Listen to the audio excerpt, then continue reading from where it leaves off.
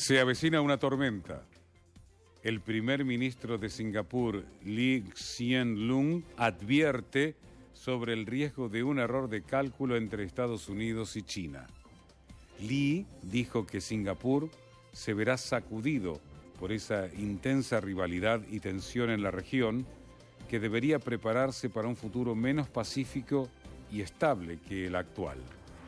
En un discurso televisado, antes del Día Nacional de esta ciudad-estado, Lee dijo que Singapur se verá sacudido por esta misma rivalidad intensa, la calificó, y por esta tensión en la región, que debería prepararse para un futuro menos pacífico y estable que el actual. A nuestro alrededor se está formando una tormenta. Las relaciones entre Estados Unidos y China están empeorando, con problemas intratables sospechas profundas y compromiso limitado.